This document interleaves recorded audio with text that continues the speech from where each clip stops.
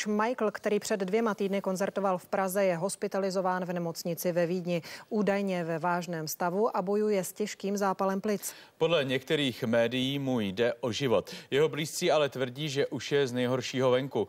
Přímo ve Vídni před nemocnicí máme Josefa Svobodu.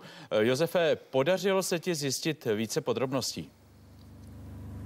Dobrý večer, my jsme se pokoušeli vypátrat co nejvíce podrobností, ale nemusím asi zdůrazňovat, že George Michael je tady tím nejpřísněji střeženým pacientem. Kromě vlastní ochránky hlídá celý areál také bezpečnostní agentura, která nás po necelé minutě natáčení naprosto nekompromisně vyprovodila za brány nemocnice. Stejně jako ostatní novináři jsme tedy odkázáni především na spekulace. Eh, jedni, jedni zdroje tvrdí, že eh, by měl být zpěvák z nejhoršího venku a eh, v tuto chvíli už by se měl jeho zdravotní stav lepšit. Podle jiných zdrojů zase jeho stav, eh, jeho stav stále špatný, stále bojuje o život, takže zkuste si z toho vybrat sami. Každopádně do nemocnice už dorazil otec nemocného, obě sestry a také jeho současný partner. Více informací v následující reportáži.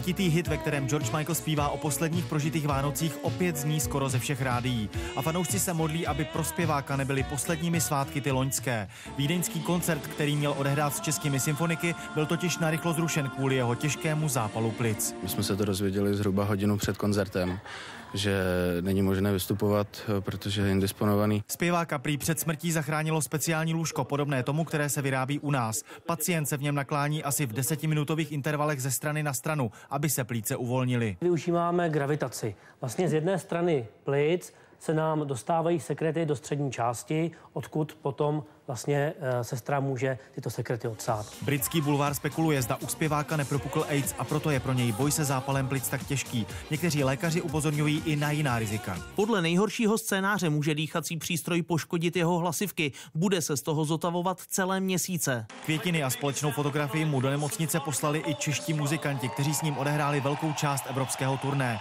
Zbývající koncerty byly zatím zrušeny. Já bych mu přál hodně zdraví a energie. Každý mu přeje, ať už je mu lépe. Jeho stav se se každou hodinou zlepšuje a snaží se být optimistou. George Michael prodal během své 30-leté kariéry více než 100 milionů desek. Jeho fanoušci věří nejen tomu, že svoje turné dokončí, ale i tomu, že ještě naspívá další nové hity. Josef Svoboda a Jiří Pánek, Televize Nova.